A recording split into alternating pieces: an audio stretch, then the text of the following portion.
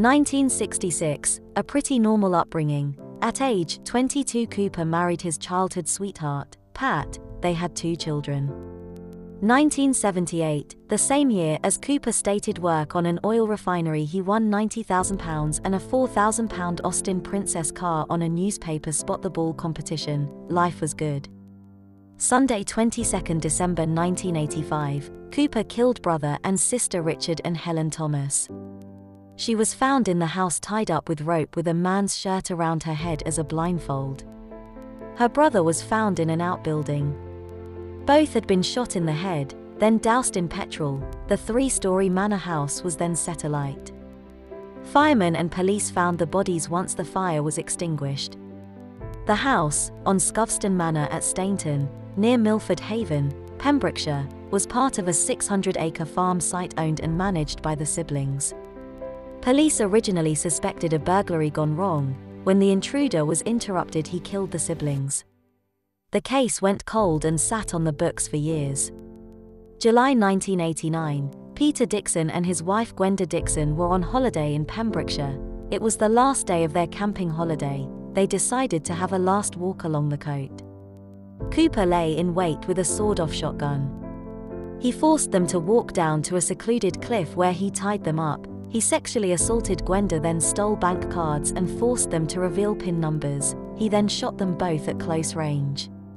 Days after the shootings, Cooper appeared on the TV quiz show Bullseye. He was also seen using the Dixon's stolen credit card, and an artist's impression was drawn up. Police compared the two pictures, but at the time, these was no other evidence.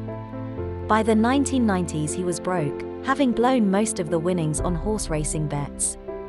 1996, he attacked a group of teenagers, raping a 16 year old girl and sexually assaulting her 15 year old friend at gunpoint. 1996, he was arrested for 30 burglaries and a violent armed robbery, holding up a terrified teacher with a shotgun in her home at Sardis, Pembrokeshire. 1998, he was convicted of the 30 burglaries and jailed for 16 years. 2006, police were conducting a cold case review. As a consequence, DNA was discovered on a pair of shorts belonging to Cooper, DNA that belonged to murdered Peter Dixon. Mr.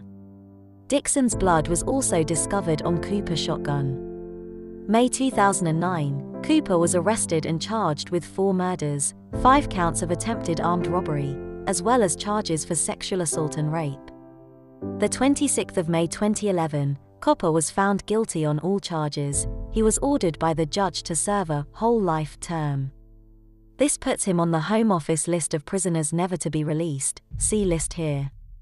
2012, an appeal against his conviction was thrown out. Thank you for watching.